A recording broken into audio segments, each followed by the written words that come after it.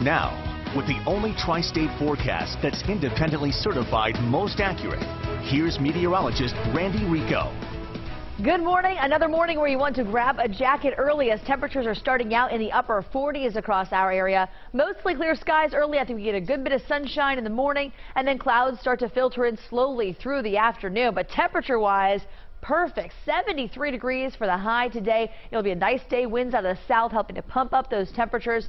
This evening, notice more clouds around. It'll be very comfortable though. Even at sunset tonight, still sitting at 70. Looking ahead to tomorrow, that's when rain starts to move in. Now, it will be spotty rain tomorrow, maybe a stray sprinkle in the morning, a couple spotty showers or storms in the afternoon, but non-severe weather. Saturday and Sunday, each day, second half of the day, you have a better chance of seeing scattered rain or a thunderstorm. India, how are the roads looking right now?